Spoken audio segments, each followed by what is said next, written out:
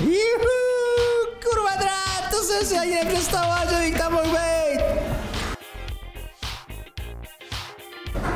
Tentokrát na sebe se mohl ptát.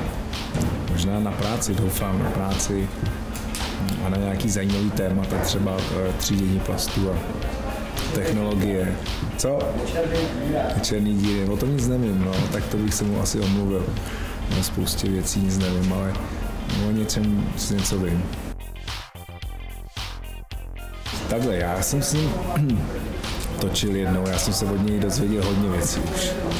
Eh, takže já, a já, mě by zajímalo, jak se teďka má, to by mě asi nejvíc zajímalo.